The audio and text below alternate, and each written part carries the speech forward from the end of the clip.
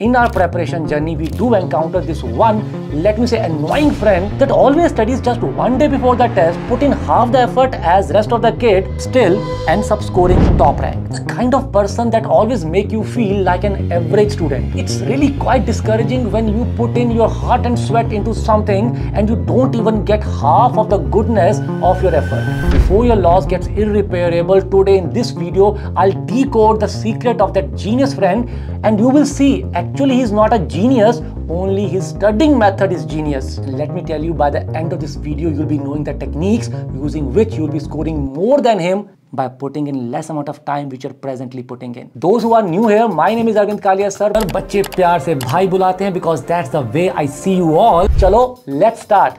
Before we start, let me mention right now, you need to come out of that fanatic mindset that single scientific method will increase your productivity. That is never going to happen. In this video, I'll reveal four scientific techniques and two supporting activities which when integrated into your daily routine will boost your productivity up to 5x. So we will be talking about most crucial 5 minutes of the day, optimizing your study space, ultradian sprints, active learning, active recall, protégé effect, and in the end, I'll give you one bonus tip as well high productivity expedition starts with this simple yet most effective step. You must have realized that you try to start your day with full motivation, but throughout the day you carry this virtual stress in the back of your head regarding what all the things I have to do in this day. And you end up barely achieving one tenth of what you could have achieved. After you wake up in the morning and get set for the day, first 5 minutes are the most crucial 5 minutes of the day. You got to list down all the things you need to cover in that day along with their dedicated time slots. This way the part of your brain which was earlier consumed for the full day with zero output and was creating headache will now be relaxed and ready to be used for the right purpose. It's like freeing up the RAM of your brain. Now that you have already saved a lot of time of the day, it's time for its optimal utilization.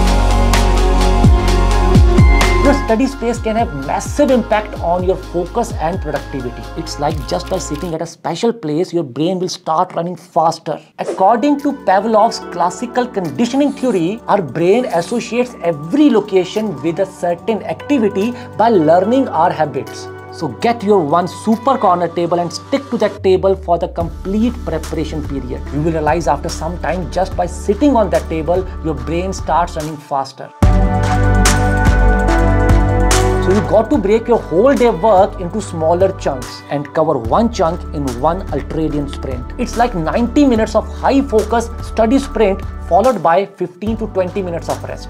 These time cycles align perfectly with your body's natural rhythm and hence boost your productivity. Actually, in chronobiology, ultradian rhythms are the natural human body cycles, which includes pulse, heart rate, thermoregulation, digestion, etc. Certainly in the beginning, maintaining high focus for 90 minutes at a stretch might be difficult. So in the beginning, you need to follow a technique to maintain that focus till your brain gets used to maintaining this focus. Which brings me to the next point.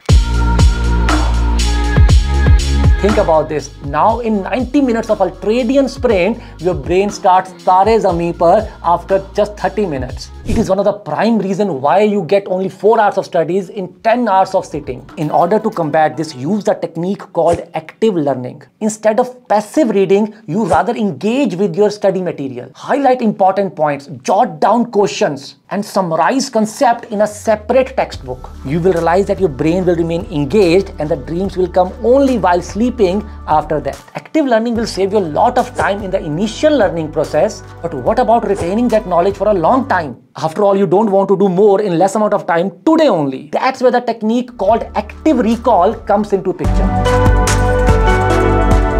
When you study something for the first time, it goes into your short-term memory you need to transfer it to your long-term memory. One round of active recall is equivalent to three rounds of simple revision. So after your classes, when you start doing your homework, do not open your notes straight away. Rather take your homework notebook and try to note down each and everything that you recall from your class. Let me tell you, you will not be able to remember anything in the beginning. So do it this way in the beginning try to recall what was the first topic that teacher taught in the class or try to think of some important incidents that happened in that class and try to recall the topics around it try to recall as much as possible. This way you engage your brain into active recalling. And once you combine an activity with active recall, it starts shifting into your long-term memory. Imagine spending 10 hours in learning a chapter followed by 3 rounds of revision each of 3 hours. In total, you devoted 19 hours on one chapter. What if you can reduce that 9 hours of revision into just 3 hours? You will be saving 6 hours and multiply it with the number of chapters and you will realize how much time you are going to save. According to a study done in 2007, students who taught other students scored higher than the students who learn only for themselves. In order to teach someone, you try to understand the concept more. This phenomena is called depth of processing and this process is called Protégé effect. Discussing and collaborating with the study group will fill the holes in your knowledge. Also the friends in your study group which are intelligent than you gives you advantage for sure. The concept which your friend understood by devoting maybe 3 hours will be able to explain it to you in just 10 minutes.